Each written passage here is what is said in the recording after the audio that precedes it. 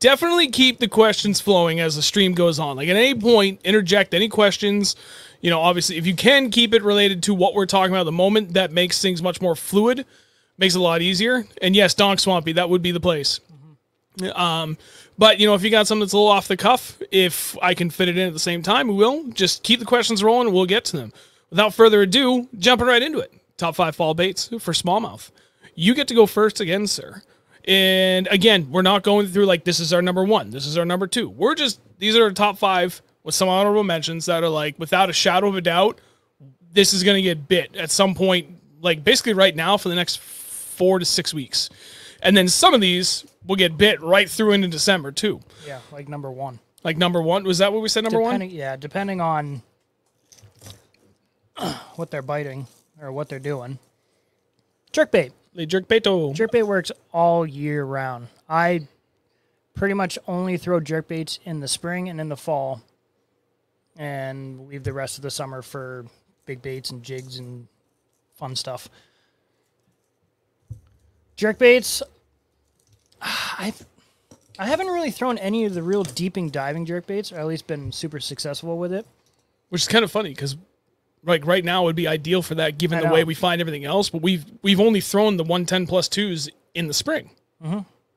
Yeah, I mean you have, and I I still stuck with the regular di- like regular 110, and obviously he I think he may have caught a little more than me, a couple. But but one of the only things i've done better than you with. the jerkbait, just the regular 110 or any regular like I don't know what do you what would you say average depth for these would be like five to six to feet six, yeah. That's so that's the megabass vision 110 those are well four to six feet i think is what they're advertised as maybe five to or six something like that. and that that's like a phenomenal depth to target regardless of what brand and size and style you go with but suspending jerkbait is pretty much what Right. we only throw The smallmouth in the fall, they're not going to be down super deep anymore. They're starting to make their way up, work their way up into a little shallower. I don't know, say probably 10, 15 feet late fall late fall. Not right now. Right now, you could still get away with throwing a deep hey now foreshadowing. you can get away with throwing that those deeper diving plus twos or any other like I don't know 10 to 12, 15 foot diving jerk bait. But deeper fall, I like to go back to the normal because they're still they're pushed up, they're feeding hard. You don't have to sit there jerk this thing three times and let it sit for 30 seconds like you do like ice in or ice out. Um, you can work these a lot faster, just constant twitching, pausing for a second or two, and then just snapping this thing seven, eight, ten times, pausing for a half a second, just because I've caught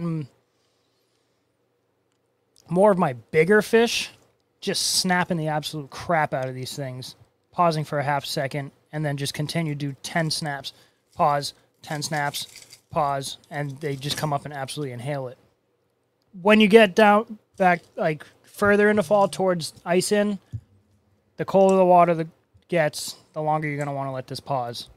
But we're coming up to that that time of year where it's not summer and it's not freezing cold out. It's right in the middle where those fish are absolutely just feasting on everything. So jerkbait would definitely be tied on. I mean, it, yeah, it's absolutely tied on my Drink. line.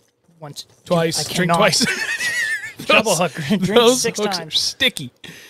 I yeah, and I'll- I wholeheartedly agree with everything you said. And then now the the added benefit to fishing even the deeper ones. Do you have to? No. Um, but like a deep crankbait bite has been going off really well for a lot of people. Like fishing anything in that mid water column, whether it be something like an underspin or you're throwing uh, Damiki rig, Okashira, spy bait, whatever a deeper diving jerk bait can get the most out of that bite as well. You can go just go on and expand upon that while also giving something to them that not only gets down to that depth, but obviously pauses because you're fishing something suspended. So it has that.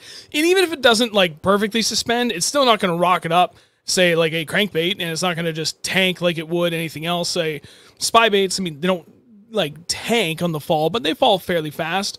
Um, you know, and like literally anything else with a weighted head, even if you're throwing a one twentieth ounce Ned rig, or a 120th ounce jig head on a swim bait, it's still going to fall faster than a really good suspending jerk bait is either going to sink or float.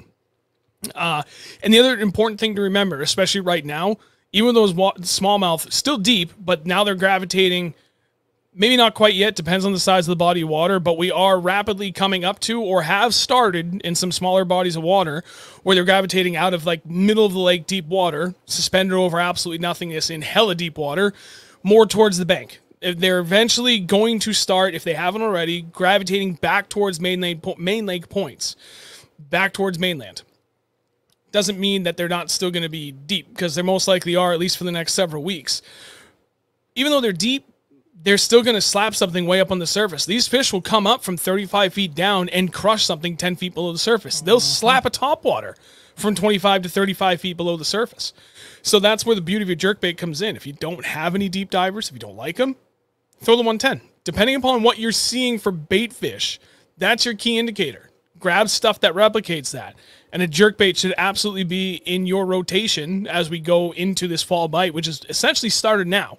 That transition is definitely beginning with these slightly colder nights and the water temp very, very slowly but steadily dropping on average week to week. Now's the time. So yeah, jerkbait, man. That's uh, it, it, I don't have it in my rotation as much as I should in the fall, but it's becoming more of a norm for me. I, I only do because I caught one giant in the fall on a jerk bait, working the absolute bejesus out of it. Um, ever since then, I was like, okay, jerk bait in the fall. That's just just what you do. And actually, it was really, really. The water was actually pretty freaking cold that day. I remember. That was late. I think that was late October, early November. that day with Kristen. Yeah, So you're probably down in the 50s already that by that point because that's a kettle pond. yeah, it was cold. I remember feel, reaching down and grab, like feeling the water. I'm like, holy shit, it's freaking cold. but I was still cranking. It was bluebird skies, sunny, but it was cold. A little bit of a like a mouse fart breeze on the water, and this thing absolutely slayed. That was the same day that I caught that giant crappie. Um, Your state record? Yeah. Other, yeah, technically. um, jerk baits. Use them. Love Yep. them. Learn them. Oh, David Roy, you got here just a smidgen late to hear the jerkbait discussion. He's, he's like, "Any- a-" anything you said was wrong. If you're not throwing it on a thousand dollar megabass combo, you are wrong. six foot three inch, three point three seven nine inch long rod, Yeah. nine point three eight pound fluorocarbon Megabass. that was soaked in holy water prior to casting. Kiss by baby Jesus. Throw up a hail mary in between every jerk. You don't have that? Jerk. Just go home. jerk.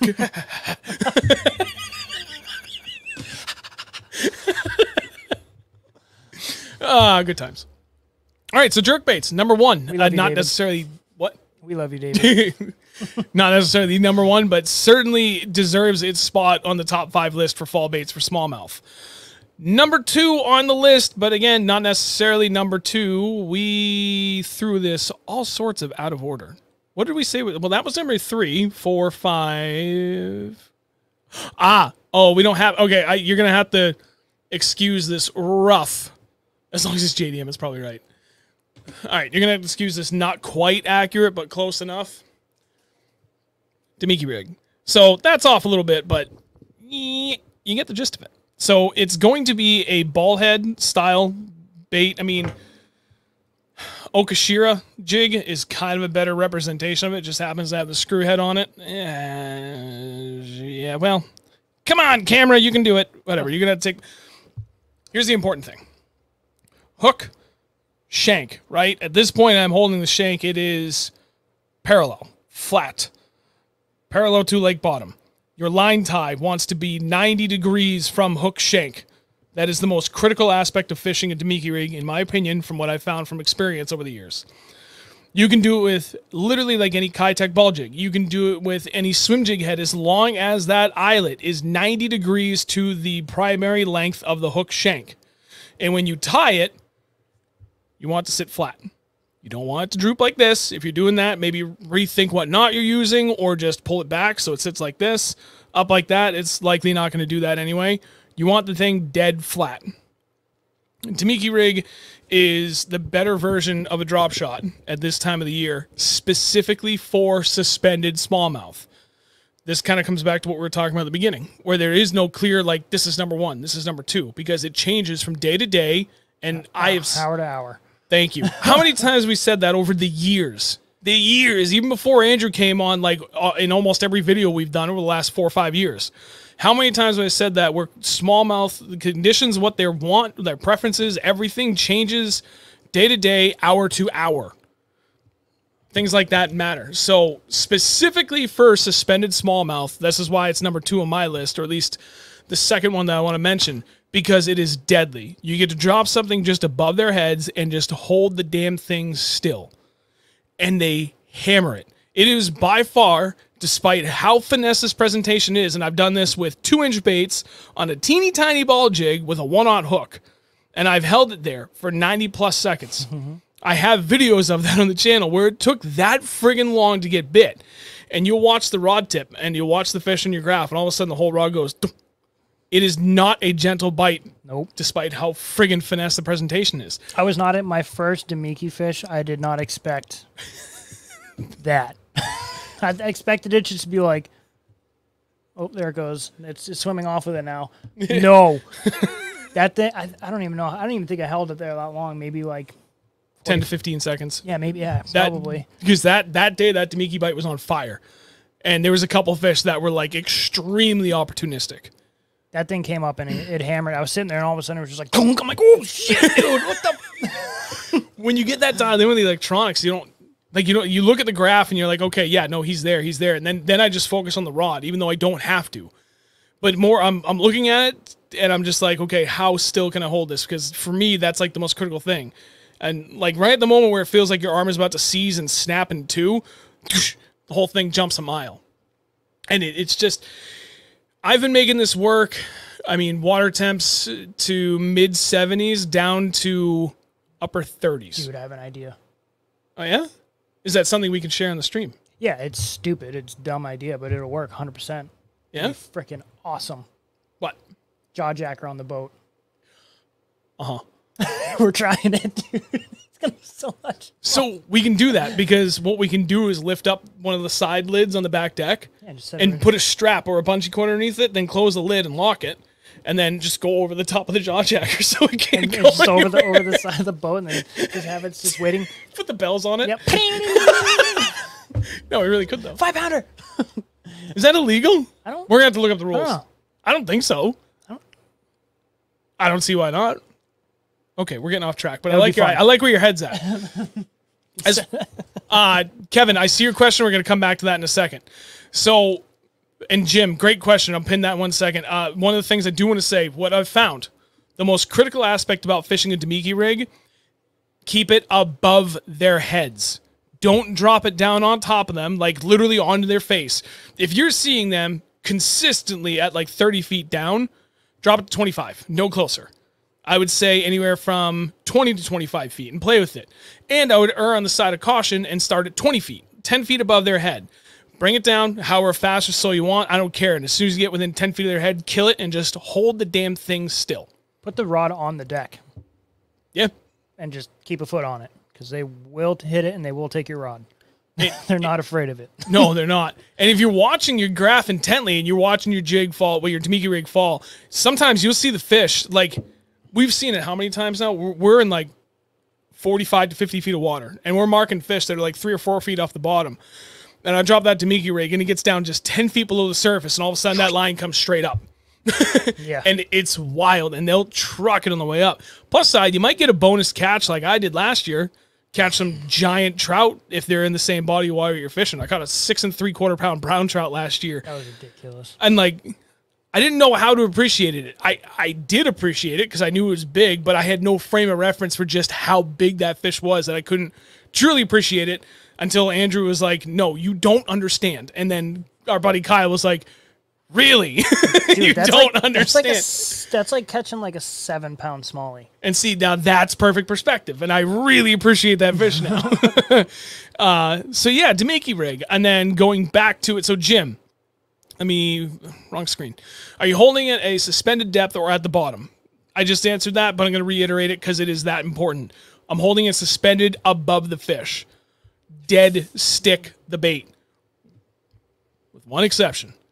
As the water gets colder, sometimes you do need to impart a very, very, very small amount of action into this. And this is where Andrew could speak to it much more um, clearly than I can and much more confidently because he does it better because a lot of this comes from ice fishing.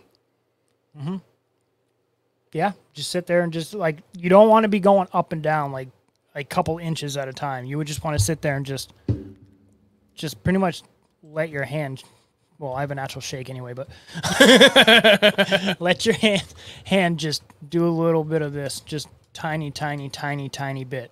You don't want that bait going. Well, where is it? You don't want to go going up and down, up and down. They'll, they'll just see it, be like, "Yeah, that, that ain't natural. That fish shouldn't be moving that fast, this cold." Just, just enough to get that tail, that tail moving. It'll go up and down a little bit, but just enough to get that tail just, just wiggling a little bit. That's enough to get them to come up to bite it. Um, yeah, that's it. Kevin, I do see your question. I'm going to come back to it. Last thing I want to talk about with Damiki baits.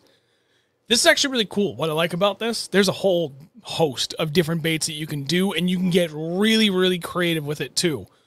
Beast Coast Fishing, their Magic Flick works phenomenal. Drop shot, Ned rig, or Damiki. The thing is, if I'm going to throw it on a Damiki rig, I typically throw it on something that's a ball head. So obviously, it's a spherical face where the bait is going to come up and meet it. I will not only take a pair of scissors and like just cut just a little bit of the nose off of the bait. I mean, I'm literally talking like a sixteenth of an inch. But then I'll come in and I'll cut a little V groove in it so it like really nestles up up against the backside of the head and makes for a much more seamless bait. If you can find jig heads that have those like giant 3D eyes molded on the side, for some reason those do even better than anything else. Uh, lead-free bass jigs make some phenomenal ones. Those uh, the hell is the other brand? I had one right here. I think it's actually Damiki, the brand, makes some as well. They have, I mean, I have a Damiki underspin right here, so it's kind of along the same thing. Uh, that camera just is too far away. Well, you can you can kind of see the red glowing there, reflection of the eye, but it's got big eyes in the head. You know, like anything like that doesn't have to be a ball jig. The most important thing, again, hook shank to eyelet. Got to be a 90 degree turn and find a knot that works best for you that keeps it at that 90 degrees. You want that hook shank parallel to the lake bottom. You want that to sit as flat and natural looking as you can. Simple as that. I mean, we could go on and on. All right, and then I didn't continue about baits. So, uh, again, Magic Flick from Beast Coast Fishing has been my number one. That thing absolutely kills it. The 3.65 inch or the 3.5 inch is their standard size, and that's pretty much all I use. I will literally rip through five or six different colors in five or six consecutive drops. Depending, like if I see a fish that's deep, and I'm like, "Yep, no, this is like textbook Damiki rig." I'll drop that bait down with one of my go-to colors is bankroll. I'll almost always start with that, especially if it's in a lake that has a lot of smelt. I'll drop that down. If that fish doesn't even sniff at it, like zero reaction whatsoever, I ask him. I burn it right back up, rip it off, throw it on the deck, grab another color, and drop it right back down. Yeah, you know when he's Damiki fishing because there'll be like a half dozen freaking baits on the deck within five minutes. Just look back like, Jesus, dude, that pile is doubled. Oh yeah. but it, for me, for smallmouth, like it's very much color oriented, almost more often than it is presentation. Like you can go out there anytime now, and it, I could probably pick three baits off these that I know I'm going to get bit, but I might have to go through five different color variations on every single one of those before I figure out which one they really truly want. And then once you nail down a color on one of them, you can usually adjust your color on the other two things and continue to replicate that success that you're finding. It's for I don't know for me for smallmouth, it more often than not it's color more than anything. Um, but lastly on baits, so Magic Flick from Beast Coast Fishing, you can throw on little baby flukes. You could throw on I don't have a package over there. I think it's the Megabass Spark Shads. The no, No, is that the, the, thicker um, Hazedong? Haze dong. that little like two and a half inch swim baits, baby flukes that I say that, like literally anything along those lines. Um, I would say no to the Berkley like uh, MaxScent flat nose minnow or anything along those lines that is a very soft, supple plastic. Because when you drop it down, the tail's just going to droop and it's not going to have like a natural bait fish profile. So that's that's really what dictates the baits that I choose for a Damiki rig. That's it. Number two, Damiki rig. Um, Kevin, Tiago, you're right. Spark shads just don't work. no, they're dumb. hey, South Jersey, and David, and Evan. Bisco Hudson, hell yeah, buddy! Let me know how that goes. Um, sorry, Ryan. Yeah, I and I'm placing another order of Beast Coast tonight. I need to stock up on a few more jigs for uh, Lake Ontario next week. Feeling really good about it. Uh, I have a couple of ideas. I have to tell you what I'm doing. You're gonna be happy, but probably also very mad. Throw a Deps. Can I borrow yours? I don't give a shit. I'm not throwing it out there with musky, dude. it's not happening. Musky, walleye, drum, pike. There's too many toothy critters in that lake. It ain't Yeah, happening. all right. So, Kevin, coming back to jerk baits, what's your typical setup for a jerk bait? This is actually one where I, I don't typically like to deflect too much. Um, we had a phenomenal article from any bass addict, our friend David here, that's in the chat that we put up on our website, 603bass.com. I implore you to go read that because he did a phenomenal breakdown of what he uses for rod setups, and there it's much more involved and better explained that I can give you. I'm a schmuck. I don't have like like jerk baits is one of like the only techni- techniques I have. I don't have a specific rod setup for it. I just use a seven foot medium moderate fast and straight ten pound fluoro. There, there- there's a there's a science to it depending on time of the year and water clarity and what kind of suspending jerk baits it's doing, what brands. Like you can dive deep into that, or you could be kind of a simpleton like myself and just seven foot medium moderate fast with straight ten pound fluoro, Perfect. I used to throw 15 straight 15 pound. and it worked And it phenomenal. worked great. But go read his article. I, I seriously implore you to read it. It is a phenomenal. You know what? Give me a second. I'll put it here in the chat for you. Uh, but to answer the other question, you guys ever run an underspin on your Damiki rig? No. I don't know that I even want to try, but I'm kind of tempted to try it. But I feel like it kind of defeats the purpose of the way we specifically fish it. That would just be that. That would just be that. Pretty much. Don't show them that. That's my specialness. Sorry. It's my cold water killer. Can't tell you everything. We tell you like 95% of everything we do, but there's like a few things we keep to ourselves. Um, Yeah, because we fish tournaments once in a while still. Oh, wait, Ryan, when are you going to be on Lake Ontario? I'll be there next week. I'll be there Thursday night, the 22nd, probably closer to midnight, and then Friday, the 23rd, and most of Saturday, the 24th. We'll be out there. And I think we're going to be launching out of Cape Vincent so we can fish either the river or the lake. Sorry, river or the lake from my current perspective. Might go down to the eastern, uh, Lake Ontario Eastern Access. He says he lives on Lake Ontario. Wait, what? Wait, what? How did I not know this? Oh. Okay. Well, anyway, I'll let you know. Well, I just did tell you. I'll yeah, we'll be up there. We'll be there. I'll be up there with my buddy TJ, Smallmouth Freaks, going out of the battleship. um. Ooh, okay. We're gonna digress a little bit from the top five here because I like South Jersey's question. What's your big baits of choice when fishing in the fall in shallower water? Doesn't have to be just swim baits that count magnum cranks as well. Glide. There you go. I just like glides. I, love throwing them. Yours, I have to say, I would like a big crank down, It's right here. and I would absolutely throw the absolute bejesus out of it in the fall if I had one. But I'm not trying to spend three hundred dollars on a bait.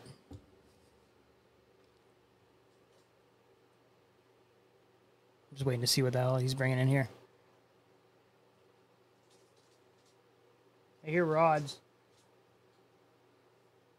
Okay, it'd just be easier if I do this. Shut that door. Okay, hopefully you can hear me. Ah. Choice number one. It's upside down. I don't care. Pats, baby. I'm throwing that. He's throwing pats. Wait, wait, wait. I can't do this. There's too much. Stay up there. Option number two. I'm bringing the fire. Hopefully you guys can hear me. Piz. Shallow cranking crappie. Oh, look at that focus. I don't even care that it's upside down. It still looks good. Oh, thanks. You had schmutz on your schmeg. That's number two. And then number three. As soon as I get there, hang on. Focus. Close I didn't even think about soft baits. I Oh, I did. I would absolutely yeah. CHR swim baits on Instagram. The Chuleta Junior. Throw Only because those. I, the uh, that one and the um, working class zero citizens. Yeah. I would absolutely throw those, and I will, and I do all the time. I throw them all year long. So I feel like in the summer though, I get a bit a lot more on those soft body baits, just working it like as a jig, and then later on the season when the water cools down, I get a bit a lot more on them when they're just when I'm actually swimming them back. What the hell was that? Oh, hey, damn right.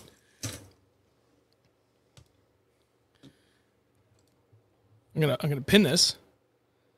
Tap the rod in. Shh. That doesn't work.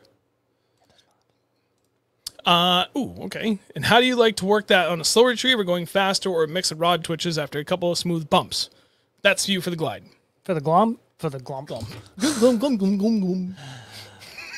I like right now. I I work the glide uh, pretty slow. Like in the summer, I'll move, I'll work it pretty freaking slow. Like just crawling it over rock piles or crawling it over some, adding like a couple half fast half turns and getting it to like spin around a little bit, and then continue slow roll it and like maybe some sweeping or something. But colder water, I always like like getting coming into the fall. I'll start cranking it a lot faster, giving it more jerks, like just kind of making it a little more erratic than just like a slow, steady retrieve. Just adding in a couple more, yeah, like erratic stuff. what about you? What do you like to do with your cranking stuff? I haven't really used any of the big cranking stuff, so I don't Straight up retrieve it.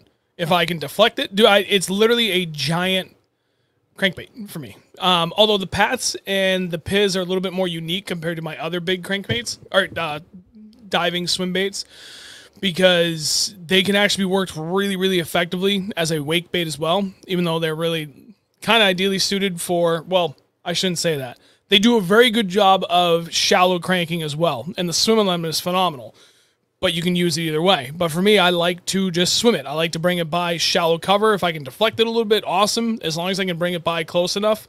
I've had really good luck doing that too. Swimming over the top of rock piles, outside weed lines, right down the side of logs. Side, a couple weeks, well, actually, no shit, like a month and a half ago now, with my buddy Travis Rocket.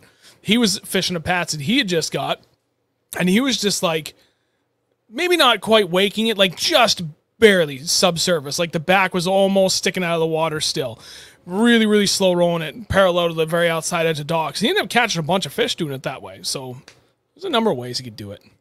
Uh, last question before we go back to the list. Using those in place of battle shads look good. Yes, South Jersey, spot on on that regarding the um, chuleta. They're phenomenal baits. We've actually caught quite a few fish on those. Andy, what are your thoughts on and uses for seven six heavy medium?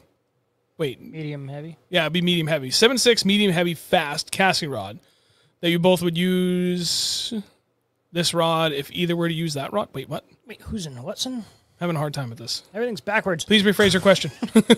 Well, I think he's asking what would you use a seven six heavy, uh, medium heavy Well, bring it back. casting rod. I would use it for a jig rod, Yeah, hundred percent. absolutely. Oh yeah, I got to put up that post too. Hang on, Kevin, I got you in a minute. Um, all right, back to the list. Okay, so we covered number one was jerk baits. Number two, again, not that those are specifically one and two. Uh, number two is Damiki. Number three, this is gonna be the biggest surprise of all. This is a real, absolute shell shocker. Go ahead and start while I go ahead and get a link to There the it is. stream. You know what it is already. It's a jig. Always, always have a jig. Um, see, these fish when it starts to get cooler, they're gonna move up. For smallies, they're gonna they're gonna find those like kind of deep. They're gonna start finding those deeper rocks. If they're out suspended, they're gonna move to the deeper rocks or like the bottom of the banks, depending how deep that bank goes. If it goes straight to the bottom in like 50, 60 feet, they'll be they'll be they'll be in there. Uh, working these, like to have a fat like I mean we pretty much use half ounce all year long anyway, so we don't really have to switch them up. Just your retrieve on the bottom becomes a little more erratic. Um, lots of dragging, lots of popping, um, working them around big rock piles. It's pretty much the same same thing as a spring, just just the opposite end of the year. Really, I mean, you're still working a jig the same as how you always do. You just you don't really have to work them out in the middle of nothing now, finding grass lines. You find if if there's boulders, deeper rock piles, highly recommend throwing these. I mean, there's really no There's, throw a jig. really. The only thing, so one of the things I guess we really haven't talked about at depth regarding jigs, but we've talked about them a lot. So th- this is going to be a, a quick point on this. We're going to move on because we really have dedicated a ton of time to jigs over the last years. Forty-five percent of the streams have been about jigs. But I mean, for good reason. Uh, You know, a jig, I'll, I'll say it until I'm blue in the face. You can fish them from ice out to ice in. I don't care where you go or what the bite is doing. 99% of the time, there have been a few days where they just will not touch a jig, but 99% of the time, you can put good fish in the boat or at least numbers on a jig. And it bears repeating because it's that good. And if you're not throwing it, I implore you, implore you to throw it. Tiago, you just said it best, buddy. You're going right up on the chat. Where are you? there he is. bingo, bango, bongo, the most versatile bait. It really is. So the only thing we're gonna do now, with for fishing jigs, from this point right now, you can use a really, really aggressive jig trailer. Beast Coast flipping Delight, Rage uh, Strike King, Strike. King, Strike King Rage Cross, Strike King Rage uh, Menace, Rage Bug, Rage bug. Rage Bug. Uh, I mean, dude, you can do whatever you want, but I like something with a lot of action in the appendages. We're talking water temps over 70 degrees for your surface temps. Uh, People talk about, like, oh, what about this range of the water? Uh, People can only measure the surface, all right? That's what we talk about. so, as the water dips into, say, like 60 degree territory, now I might find something that's got a moderate amount of action. Nothing crazy, but yeah, um, uh, trying to think of a good example. Uh, net pack across are really good, kind of like in that mid range. But most importantly, the appendages stick out straight. So when it falls, it stands up and the legs still stand straight up. So it makes it very easy to, to find. And then from there, as the water continues to get colder, then I'm going to use uh, trailers with less and less action in them with one caveat twin tail hula grub. And it, it didn't really kind of click until just now why that works so good in cold water. The most obvious reason for why it attracts their attention on the fall is because of that swimming action in the legs. It, it's, I mean, they're just little twin tails, but they make a hell of a ruckus on the fall. And then when they fall, just like Andrew showed you, they fold. So to me, that really kind of represents like, kind of like, okay, I'm just, I'm just chilling here. Don't look at me. I'm just a crawfish. And just leave me alone. But it saw it on the way down, and now it's just this little thing sitting there. Sematus baits, bingo, chunk. Mm-hmm. Sematus makes one of the best chunks that you can get. There's a ton of other brands out there that make the same thing, or not the same thing. Excuse me, same style for just like that overall bigger profile, nice heavily salted uh, salt scent, whatever you want out of it. Um, but it's just a complete dead action. But depending upon what brand you get, either big or moderately sized profile to it, and that is like as good as you can possibly imagine for really really cold water smallmouth. Zoom's uh, the Zoom. Uh, come on, Sean. Super Chunk Junior was my go-to for years, for years, and it literally has nothing to it, but it works killer. Nice profile, and it just sits there, kind of floats. Like, hey, it's gonna sit here. Depending on how you hook it, does a little Hey, wave in the air, yeah. like you just don't care, Hanging out. and it, it's it's phenomenal. So Eat me. there's that. Oh my God. So, one of the things I have not brought up in a while, first off, wait, wait, wait, wait. We said jigs. I talked about trailers. Okay, we covered everything for jigs. There's number three. All right. One of the things I, I keep forgetting to ask the last like couple weeks here. For those that are watching, first off, thank you very much.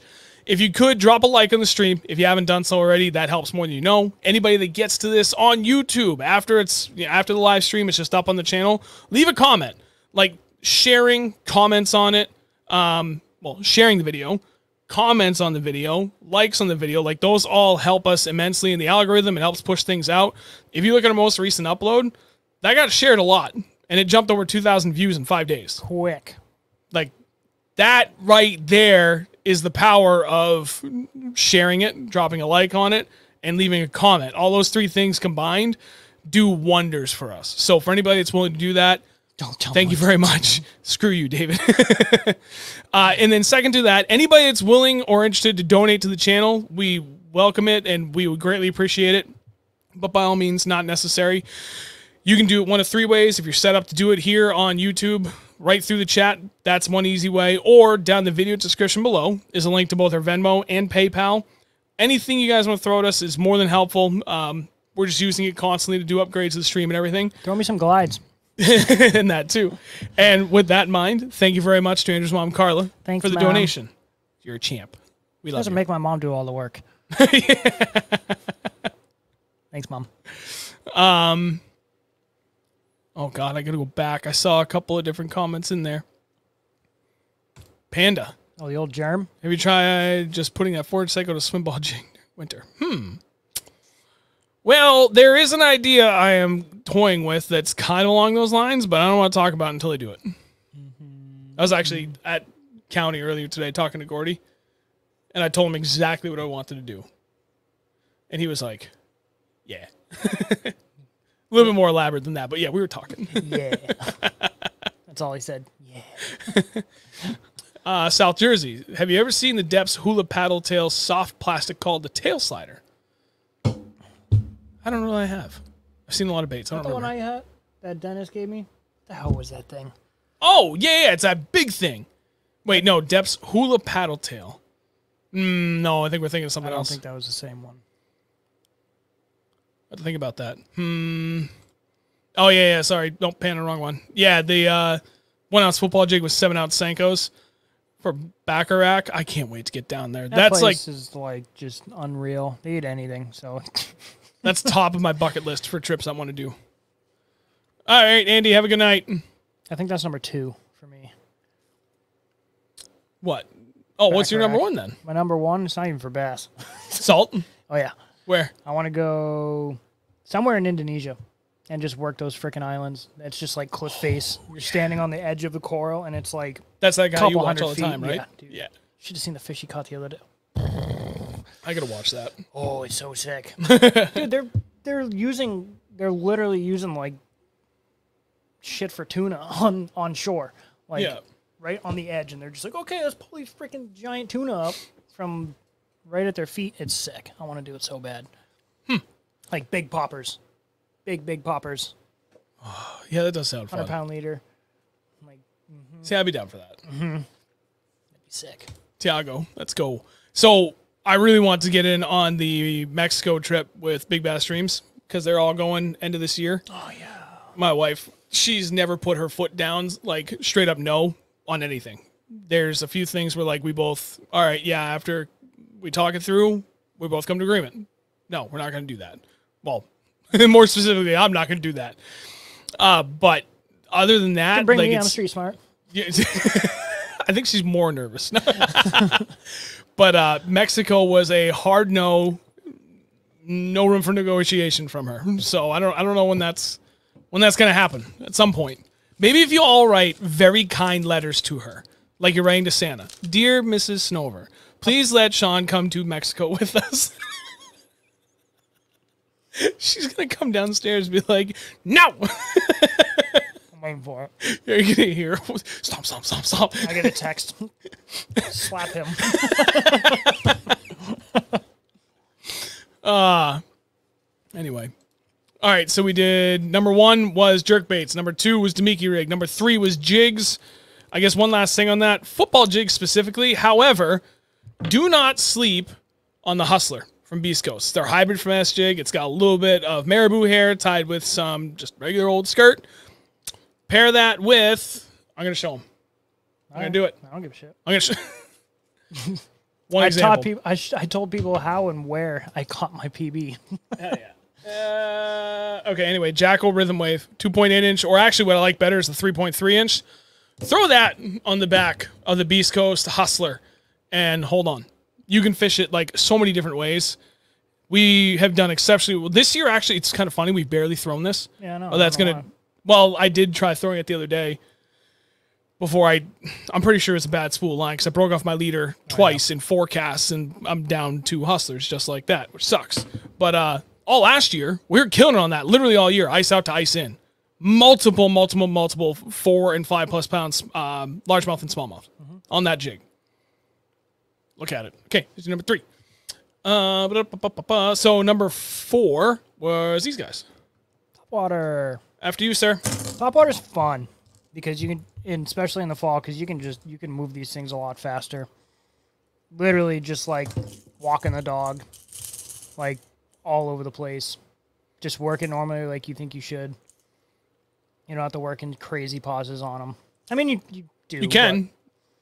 Smallmouth are super aggressive. They're gonna come up and smash it.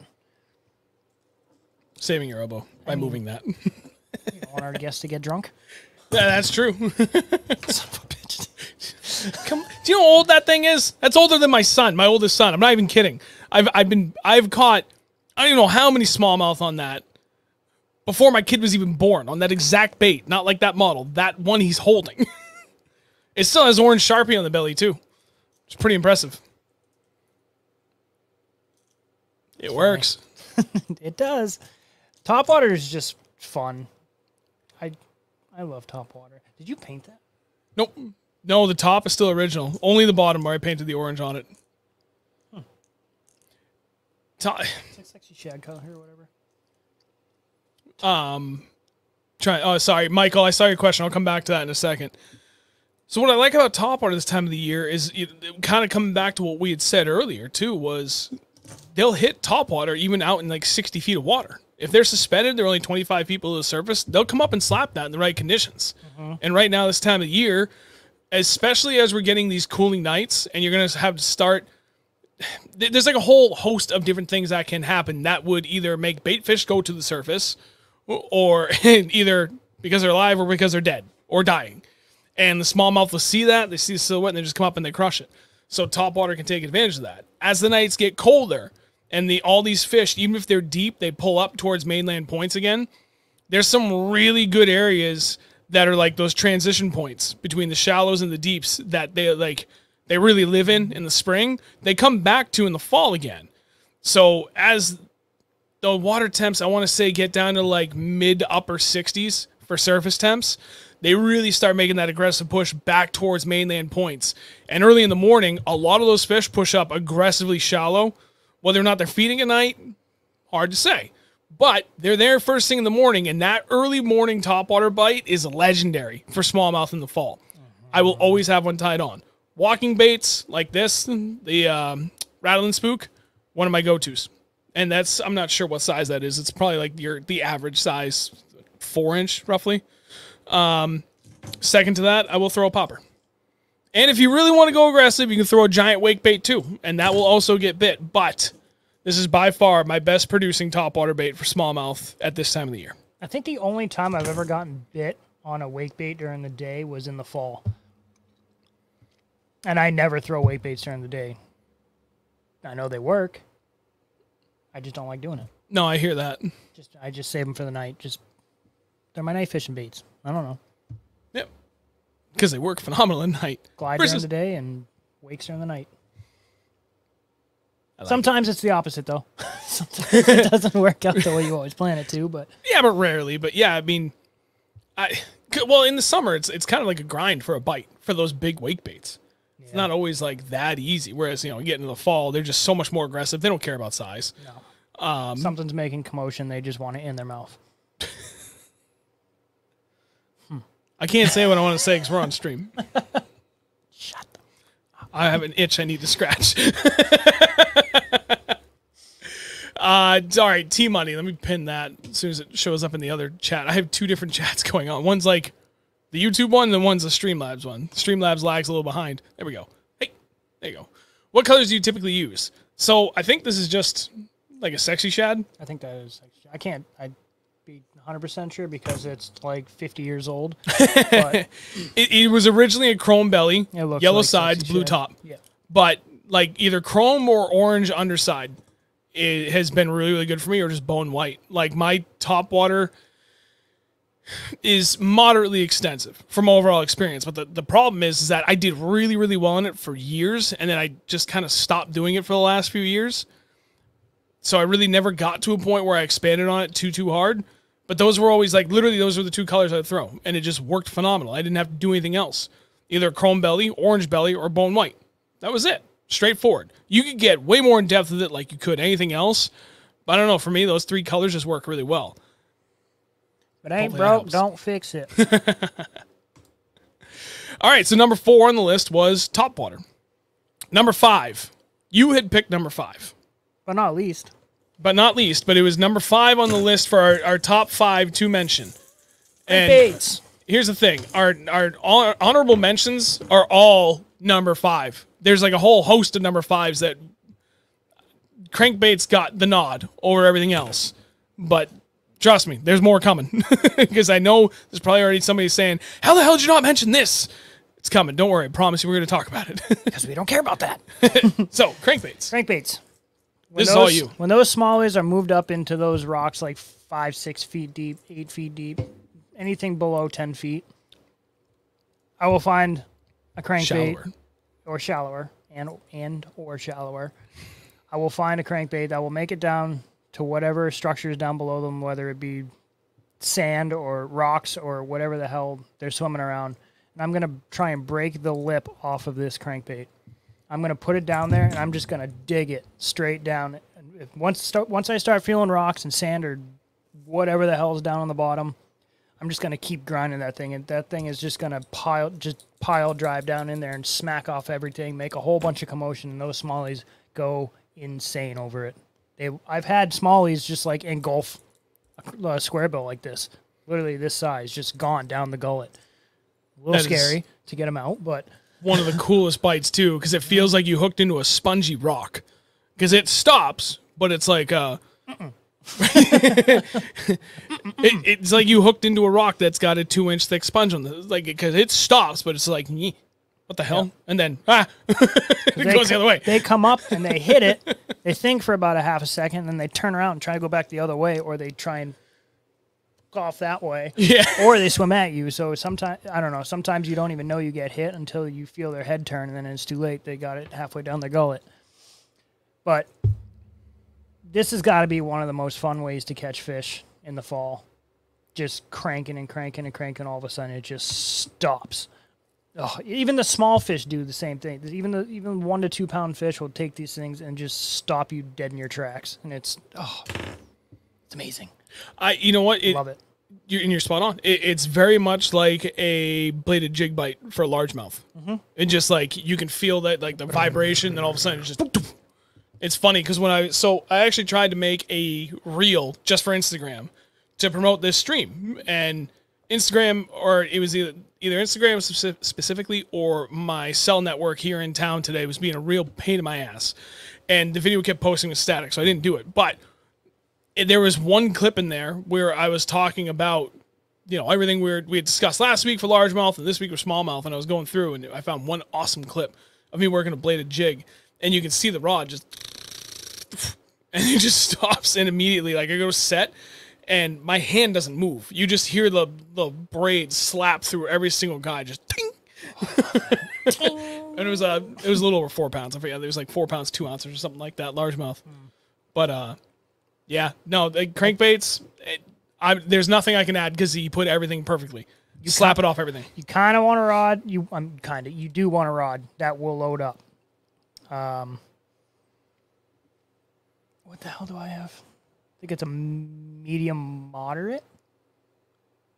No, The one that John built medium from heavy Custom Rods. moderate, I believe. Maybe it's a medium. No, moderate. yours that's a medium moderate fast medium moderate fast. Because that was specifically built for cranking. Cranking, yeah. And you yeah you want that like real spongy like nice parabolic bend to it. Yeah. So you're not ripping the treble hooks out. I mean, there's some baits. I mean, like you look at the hooks on my spook. This thing, those are stout hooks. You can set mm-hmm. the hook on that all day long. And then you go to the polar opposite end of that spectrum, and you go to like a Megabass Vision 110. Those are teeny tiny fragile hooks. If you set the hook hard on that, you're just gonna rip them out mm-hmm. or bend them out, break them. You want Those itches. You want to be able to have a rod that when when they hit and you know they're going to hit. It's either you're going to hit a rock, it's going to feel like you hit a rock and it just stops and it doesn't deflect, or it's going to swim at you. At that point, you're just cranking to try and catch back up to it, and then twist at the hips and just keep cranking, keep cranking, keep cranking. You're going to want to play them pretty easy because these hooks will rip out of their face pretty easily. Yeah, they will. But other than that, crank till your heart is um, full of smallmouth. These things are freaking awesome. That's a. Is this a new one? Yes, I like that. I know you do. That's why I specifically brought it out for you. it's a great color. I like it. And as far as colors go, match the hatch. Simple as that. I mean, it- like a lot of these things really just match the hatch. Uh, but try and figure out what they're primarily feeding on. If it's mostly smelt, then you know anything in that realm of color doesn't have to be spot on. Just get really close to it. You're good to go. If it's perch, something with an orange belly. You know, if it, it's a, if it's a dead match, awesome. This one from Strike King, I can't remember the name of the color, but it's like blue, green, and purple, but it's got a big old patch of orange on the belly. That works phenomenal as well. Um, and I mean that's that's kind of it, man. You know, dark stain water, darker colors, nice clean water, natural colors. If you're not sure what to throw for a color or size, I I personally recommend going with like the 1.5 in like a natural, just like browns and blacks or like bluegill color. Yeah, like Sean said, find something like if you know what bait fish are in there. If there's bluegill in there, which there most likely will be bluegill in these northern kettle ponds, throw something that looks like a bluegill. Yep. Um, Brian, let me pin your comment, buddy. What size square bill are you using? I like 1.5s on occasion. I really like the KVD. Uh, sorry, this um, Strike King KVD 2.5s. Those are my absolute favorite. I love that size. I can sling them on my two, like my actual primary cranking rod, and then my secondary one, which is a little bit beefier. I run 12 pound. Uh, the 1.5s, I, I need a newer reel, or at least I need to get the one I have tuned. Because if I catch even that little mouse fart of wind, it, it backlashes crazy, and I can't get the distance out of it that I want. That 2.5 sails like a champ, though. Yep. So I, uh, that's me. I, I prefer the 1.5s. When it comes to crankbait, size does not really matter. I, I feel size doesn't matter. I will. Th- I I haven't really thrown the one the two fives that much. No, you're almost exclusively the 1.5, and I'm almost exclusively the two point five. I've caught giant fish on the tiny little one. It works great.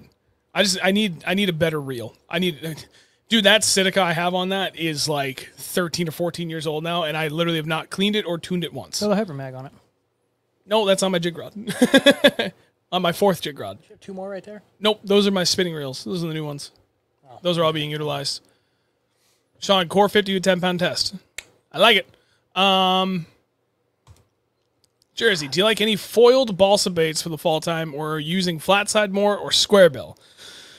We actually had Epic Eric on earlier this year to talk about crankbaits, and he dove into all of that, and I learned way more about crankbaits than I ever thought I could in an hour and a half. There's a lot to it. I, I like if you're even remotely interested in getting into crankbaits, aside from anything he, and everything he has on his channel, you should definitely go back and watch that Reel Northern Bass Talk where we had him on because him back on. we really should. He said he would do it. We just need to reach out. We're trying to make that happen. Fall time, so might as well. I know we're supposed to get the swim bait scrutiny guys back on too to talk swim baits, but anyway, I digress. I pretty much just throw like the old school Rapala DT4s and DT6s and square bills. Like that's it. Maybe that's why I haven't done as well with cranking the last few years as I used to do. Like I like like that was it. That was my go-to. I used to crush them on friggin' crankbaits, and I just I found other things I was doing better with, so I stopped doing it. And I never expanded upon what I had for my crankbait selection. So I just have a ton of square bills and those Rapala DT4s and 6s. And now I've got a bunch of Strike King stuff. I got some, uh, I think they're 8 to 10s and then 12 to 14s and then some like 16 to 18 foot models. Like we've got a lot, but they're all kind of along the same lines. All pretty straightforward. Uh, ooh. I'm trying to think of like if there's anything. I mean, We covered that a little working bit. in pauses TJ. though is definitely something that you want to do with with square square bills specifically. can I ask the question of when you're pausing it, are you just like crank, crank, crank, stop, crank, or are you also working in a little like crank, crank, and on the pause you kind of give it a little pump? I don't. I You don't just straight up pause? I straight up pause. I actually, when I'm cranking, I'm cranking, cranking, cranking. I'm smacking off the bottom. I pause and I leave a little slack, Ooh. so it comes straight up and it's not trying to do something different. So Yep. I, I crank, crank, crank, pause. I just bring the rod tip like six, six inches forward, just so it has it's just kind of floating there free by itself, straight up. I like it. So, all right, to recap, we got everything. We start out with number one was jerk baits. Number two, and again, not that this is number one and number two. I'm going to keep reiterating that. But for the top five, the ones that we covered, number one was jerk bait. Number two was Damiki rig. Number three was jigs. Number four, we said top water. And then number five was crankbaits. So that's about as good as it gets for covering like the bulk of what you could do. But as we said, smallmouth is very, very situational, which is why I have smallmouth freaks comment here pinned. Because now we go into the honorable mentions, and those are two things that are very, very high on the list with some caveat to it. Big bait time for me. A rig and swim baits. A rig should absolutely be in this top five. However, a lot of states have bans on them outright. Or you can only fish like complete bastardized versions of what a true Alabama rig is. I think in New Hampshire you can have three arms, one bait. Correct. Hey, Two smart. dummies and two dummies and one real hook in New Hampshire, which is like, what's the point? Uh, you go to places like you think of the ratio where it's going to bite, it's probably better than some other places we can go. you know, it, it might be worth throwing it just to see if it's really even useful or not. But I have the three armed. oh yeah, I keep forgetting about that. I want to buy like the one that with the five arm version we have. I want to buy that and a three arm, smaller profile. Smaller, skinnier. Yep, and and make that work. As long as I can have two up top and the one down the middle. As long as I can bend the arms that way naturally without deforming the hell out of it, Well, it's gotta be and I can get the weights just right, that I'll make it swim right. Two heavier weights on the No, two super light up top and one heavy down the bottom. I think I'd rather have the Oh. heavy one, the single on the bottom, versus two because they're more likely than not going to come up from behind and or below. So I want that one single bait that's got the real hook on it to stand out and be an easier target for them. That's at least that's where my mind's going with this. Smallmouth freaks, you tell me if I'm hmm. dumb. but so on the list of honorable mentions, A rig, absolutely on that list. Check your state regulations. They will not screw around with you on this. There's something about an Alabama rig that gets regulators all riled up. Eh, I feel like that scene from the Joker. You throw one Alabama rig and everybody just loses their mind. Seriously. so, like, we're case in point. We're in Vermont. Vermont, you can throw a five arm rig, but only two real hooks on it. And we were fishing right outside of Marina along Oh, a yeah. bridge. And I look back right after I had just caught a fish, and I had just slung it back, and Marine Patrol came out, and dude, that guy beeline for us. And we're like, "How you doing?" He's like, "Hey, good. Hey, what are you throwing right there? How many hooks are on it?" Like, literally cut right to the point. Like, I need to see that rig. Yep. He was like, "Pull it out of the water. I need to see it." Take a look. Here it is. they do not it's mess in the water now. Go find it. what rig? you throwing an Alabama rig? No, I'm throwing a what rig? What rig? Yeah, exactly. What rig? It's gone. see ya. Bye. Oh, it's 30 feet down there. Go find it. So check your state rules when it comes to things like that. Next up on the honorable mention, big baits. Now these are kind of baby big baits, but they're also like really common, really easy to find, and they work really, really well. Megabass. And these are the six inch models.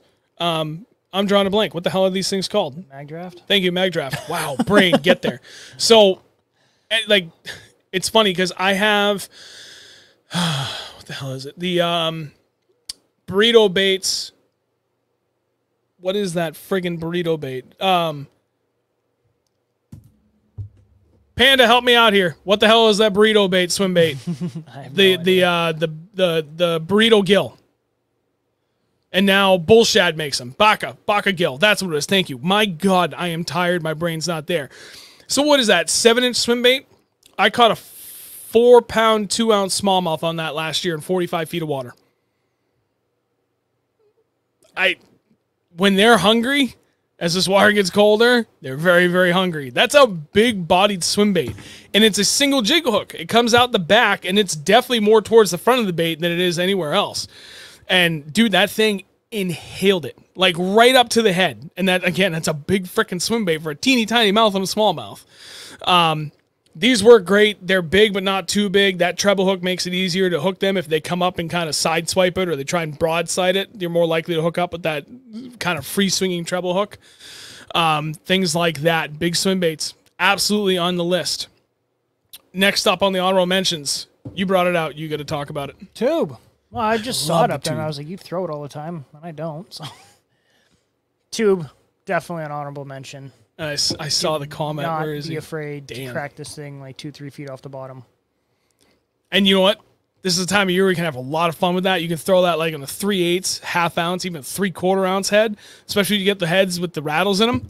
I mean, you can crack them. I literally have a rod that was specifically designed to crack half ounce and three quarter ounce tubes. And I use it for a whole bunch of different things. It is a spinning rod setup, but it, it works incredible specifically for that. Half ounce and up, like half to one ounce, that rod is in heaven. It loves throwing anything half ounce and heavier. Even though it's rated three eighths ounce into three quarter, if I try and throw three eighths on it, it just it doesn't cast much for crap. But my God, you throw a three quarter ounce tube on there and you crack it from 200 feet away, it does a damn good job of doing exactly that. Tube is phenomenal. There's a whole oh my God, we could talk about this for a half an hour on its own. You can go heavy right now, like I just said. You can also go really light. That's what most guys do, and that works exceptionally well. If you rig it up just right, say with like a 3 16th ounce head inside the tube, you get a nice spiral out of this as it falls. Nice slow rate. Then you can kind of pop it off the bottom. Looks very much like just a crawfish. And you're probably going to catch a, a pretty decent sized laker too, Yeah. because they love tubes. Um, what else? Sorry, I'm hungry. And yes, so sorry, I'm going backwards. It's crazy. Check the regs all the time. Yeah, exactly. Wasn't allowed to have South today. Jersey, JP. uh, Mass Big Baits, South Jersey. Yes, thank you, the Baca. Um, David, I thought no A rig at all, no A rig at all in New Hampshire. I'll be twisting some wire then. Yeah, you can have the three arm, one reel hook because New Hampshire. law, because they will come and get you. Oh yeah, New Hampshire doesn't look at it as a lure; they define it as an apparatus, which is kind of weird, but it is what it is. Fish catching apparatus. It's not a net. dude, my got hooks on it. keeps doing weird things. That's funny because this bait has twice as many freaking hooks on it. and this thing has even more. But this is okay.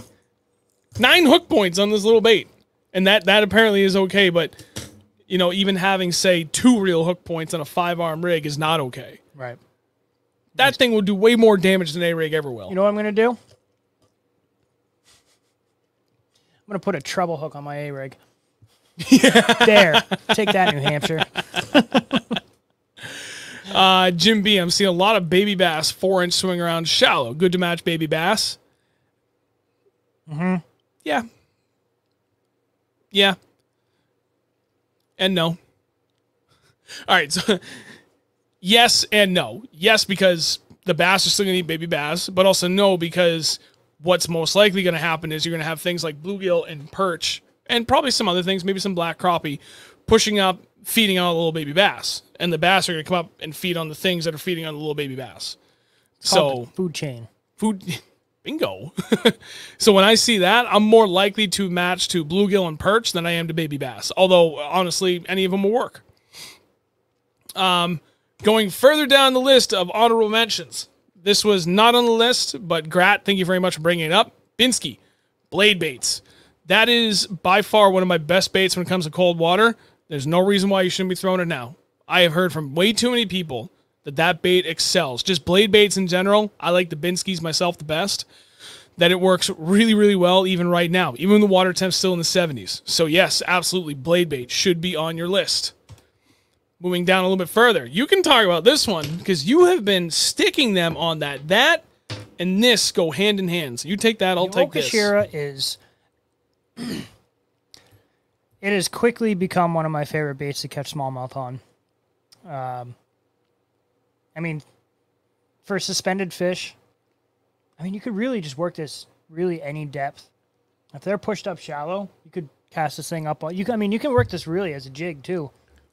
We've And- literally caught fish on that from two feet to 50 feet. Mm-hmm. That is by far one of the most ver- most versatile jig heads I've ever thrown. It's got the little propeller on there, but they're they're not equal sized. One is a lot longer. So instead of it, I think I said this last stream, instead of it or um, just swimming straight with the prop swimming, uh, prop spinning, they're offset. So when this thing's swimming, it's kind of doing this.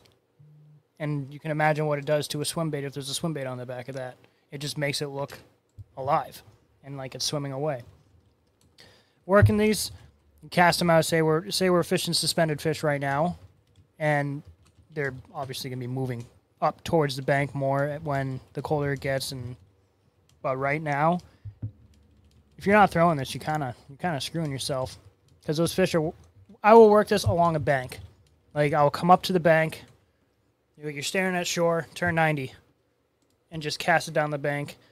Probably if they're suspended, say 25, 30 feet, work it five, 10 feet above their head and just slow roll it. They'll just you don't even need to do anything special with it. Just slow roll it. They'll come up and just engulf it. Straight line it. I mean, if you look at the last not last video, but the video before, we were working kind of a bank. It was like a submerged point, kind of. Yeah, d- depending upon where you're at, you are on it. It's either like a really slow tapering bank from one angle, or from the other angle, it's like steep banks. Right. and I think we were on that steeper bank side. Were we? Uh no, we were working No, like we were the, working the the slow tapered side. Slow tapered side, but I they were suspended down, or actually no, they were all on the bottom. But the Yeah, a- small anywhere. I mean, we saw them from like belly scraping to five feet off the bottom. Yeah. I think if memory serves correct, they I were think they I were. was in 35 feet when I caught that one. Yep.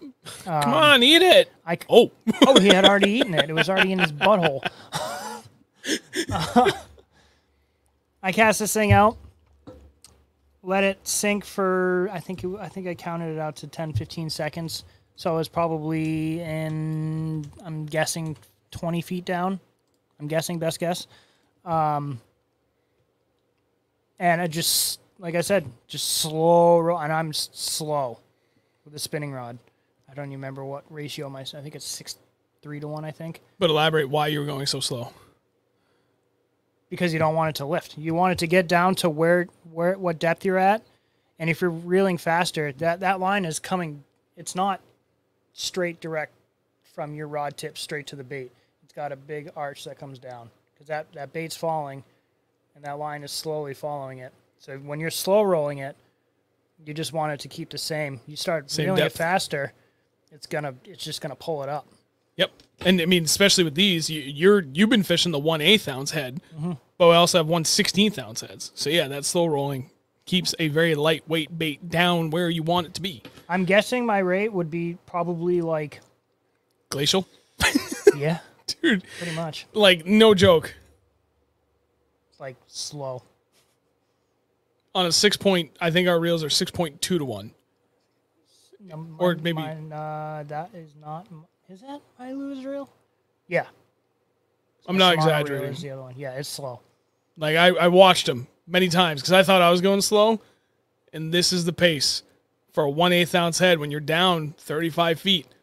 That you want it moving, but you want it to stay off the bottom, but you want it at the bottom. This is your pace. And the closer you get to the boat, the slower you're gonna want to reel. Yep. Just like with an A rig, you cast an A rig out, you count it down 10, 15 seconds. You want to just do maybe like, I think it's like one to two second turns, and then the closer you get to the boat, you're gonna want to slow it down because the closer you get to the boat, if you're still reeling the same speed, that bait's gonna start coming up. And reel it straight to the boat too. Do not be afraid to reel it straight to the Finish boat it. at that same speed. Even- co- yeah. Even if you're in 45 feet and you're working that thing close to the bottom, all the way up to the boat, crawl it. We've had so many fish, not necessarily even on Okashira jig, but even just swimming a swim bait, which we're going to talk about that in a second too. Like literally at the boat. I mean, like a 200 foot cast, and all of a sudden, like all the way, nothing, nothing, nothing, and then 10 feet from the boat, it gets smoked. I actually caught another big brown trout doing that last year too, but we've had plenty of big smallmouth, Okashira, underspin, just swimming a swim bait, blade baits, nothing on a 200 foot cast until you're 10 feet from the friggin' boat, and then they pin it. As they uh-huh. come up, they're like, hell yeah, pinpoint for that bait right against whatever the hell that thing is floating up in the water.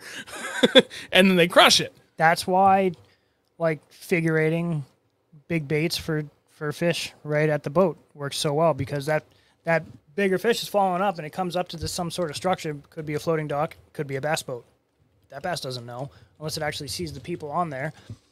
It's so focused on that bait that when you're sitting there figure eighting it, it just thinks that fish is confused and doesn't know which way to go. So then it comes up and eats it. I don't get a PB. I demand a refund. I don't know what he's going to refund me for. My time. I want my time back. If he doesn't catch it, just give him a high five. Hey, you know what? I if I catch at least one five pounds or bigger, I'll be happy with the trip. If I don't break five pounds again on my fourth trip to Lake Ontario, I might not go back for a while, or I won't go back until the spring next year, where I can just snipe a bed like everybody else. PB, PB, PB. Yeah, that's ridiculous. Uh, all right, so the, uh, the one of the other last honorable mentions here would be just swimming a swim bait. I mean, it's something as simple as this, Keitech. So, yeah, a little closer here. That is, if I can get it to focus, that's a Keitech Easy Shiner, just on a 3 8 ounce football jig. You can do a number of different swim baits on a number of different size heads and hook shank, si- hook shank sizes, profiles, swimming actions, whatever you fancy three and a half inches roughly has kind of been the go-to for us. You can fish it like a jig, just straight bottom drag, pause, bottom drag. You can hop it like a blade bait or tube. You can just straight up swim it like you are a spy bait or an underspin, anything like that. It's, I mean, it's it's that simple. There's no magic to it. Match the hatch keep your colors natural like you would a jig if you're in really clear water, more natural colors. If you're really dirty dark water, darker colors. That's a thing that's worked from ice out to ice in for us as well. It's one of our go-tos. Um, although I don't know why that wasn't higher in the list, but it wasn't. And then circling back to Okashira, kind of along those same lines, although the Okashira jig head, uh, by the way, which is from Megabass, it's the uh, Megabass Okashira screwhead jig head, I think is exactly what it's called Screw head, jig head, yeah. Screw yeah. by far one of the most versatile baits because like andrew said you could swim it you can hop it like a jig you can do a number of things you can just fish it like a ned rig and just let it fall and it gets chomped regardless any which way along that same lines though two other things that i meant to bring up when he was talking about it underspins with swim baits on it and spy baits like those oh, are all. Oh, they're so good. And if you want something moving, but specifically work like that mid water column when the fish are suspended, it's really, really hard to beat any one of those three things. And you should have one of those three things tied on there. all over. I've only got a few hundred or five pounds on the screw head. It's not that cool. I do that. I love them. I'm absolutely. If I could marry one bait besides the jig, for smallies, it'd probably be the Okashira. I love that jig head. Actually, it's kind of funny. My biggest fish I caught last year on Lake Ontario when I was with Smallmouth Freaks was on that with a spark shad. That was my biggest fish. It was 4.8 something, I forget. Um, but yeah, like that. Still fish. So, I mean, the swim bait, Okashira with a swim bait, underspin with a swim bait, spy bait. Like all of those kind of do the same thing where you can work the middle of the water column at different rates with slightly different profiles. But I mean, really, it's just a good mid water column moving bait that you can set the depth you want it to be at just by letting it fall and controlling your retrieve rate to keep it at that depth. Um, Okashira screw head and Okashira Okashira head and Okashira screw head. Screw head has the prop, the other doesn't. Thanks, I need to David. pin that. Yes, you are correct because there's one that's just essentially a swim jig head, and then the one with the prop. The one with the prop is the one that we keep talking about. Um, coming back to this, fishing with JMH. Which, by the way, thank you for coming out to watch the stream tonight, man. Greatly appreciate it. Do you guys mainly target smallmouth? Uh, it depends on the time of the year. Last year, I would say yes. I feel like but he's he's he's like more of the smallmouth guy. Because you love catching smallmouth. I do, and until I love catching just giant largies. wonder what it was because it was like I had already had like my big largemouth. I've I've caught. I spent my whole life until like ten years ago. I'm 37 now. Where like it was just largemouth for me because that's all I ever did fishing with my dad. Little John boat was fishing all these kettle ponds all over southwestern New Hampshire, and that's all we ever went for because that's all my dad ever really knew. And if we stumbled into some smallmouth, awesome. But it was almost always just beat the bank, throw in Texas rig baits for largemouth.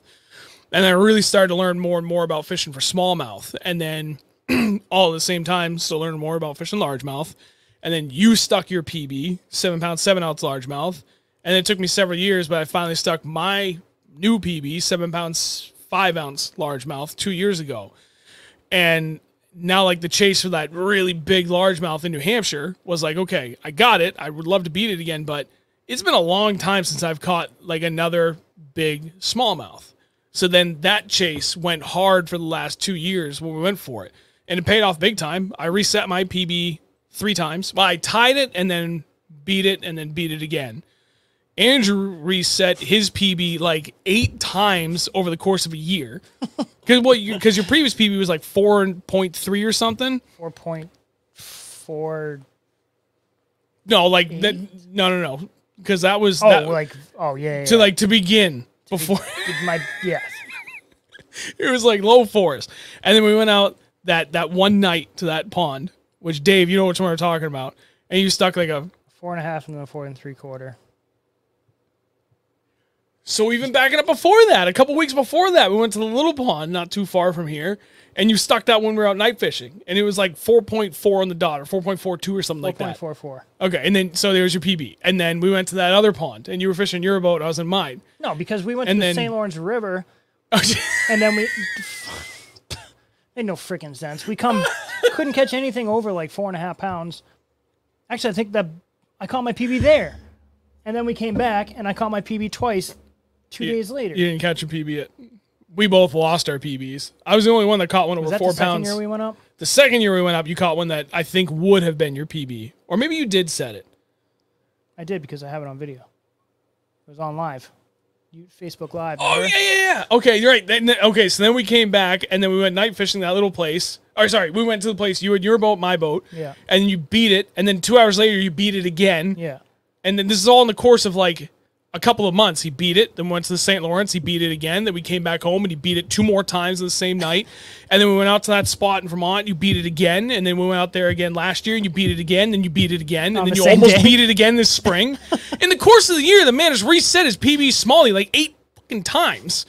Meanwhile, I went from 2009 till friggin' 2020 to reset it by 0.06 ounces. I don't know what to tell you.